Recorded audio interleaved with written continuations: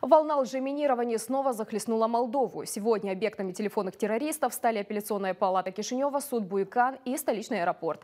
На место, как положено, прибыли специализированные службы и взрывотехники, которые оцепили территорию и вывели из зданий людей. Проверка показала, что сообщение оказалось ложным. Момент работы специалистов запечатлила и съемочная группа ТВ-8. Alerg cu bombă, unii doi polițiști, nu trebuie să șadă, trebuie să eu am apăsat aici, așa le-au spus.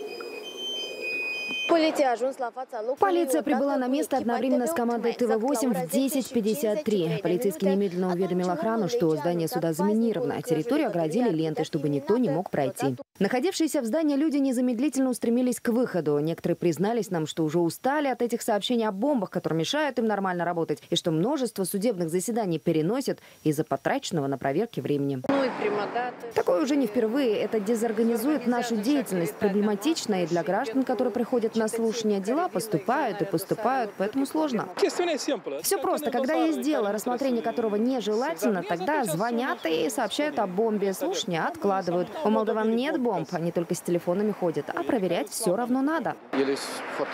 Очень часто такое происходит. В понедельник такая же ситуация была, и все заседания перенесли на довольно позднюю дату. Через полчаса после объявления тревоги на место прибыла бригада взрывотехников, а также кинологи с собаками. Экипированные должным образом, они тщательно проверили здание и прилегающую территорию.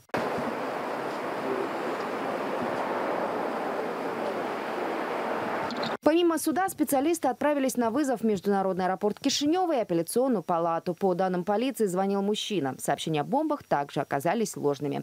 Ранее стало известно о наказании подростка из Камрата за аналогичное преступление. В январе он предупредил о якобы минировании ряда объектов на юге страны. Парню дали два года условно и обязали выплатить крупный штраф. Процесс выявления личности преступников достаточно сложный, поскольку, по словам правоохранителей, некоторые сообщения поступают из-за рубежа. Одно сообщение о заложенной бомбе обходится государственному бюджету в сумму не менее 60 тысяч леев.